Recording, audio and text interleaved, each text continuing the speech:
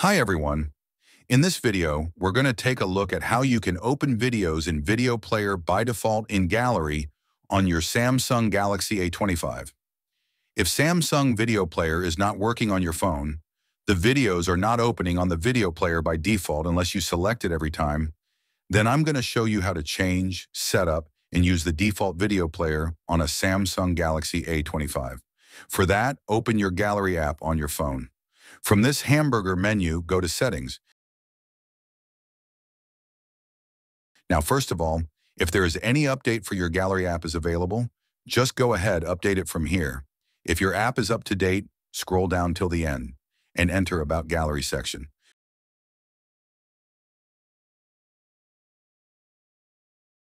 When it loads properly, just keep tapping on this version number until Gallery Lab is enabled.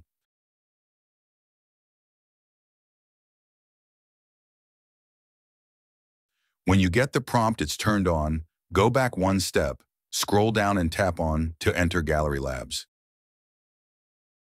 Here, just scroll down and turn off Film Strip in Viewer option. And after that, I'm force closing this section. Next, whenever you open Gallery and play any video, just tap on this Play Video button, and this video will automatically play with navigation bar and timeline. Choose as you want. So that's how you can enable the default Samsung video player for all of your videos on your Samsung A25 phone. Thank you for watching this video. Please subscribe to my channel for more videos.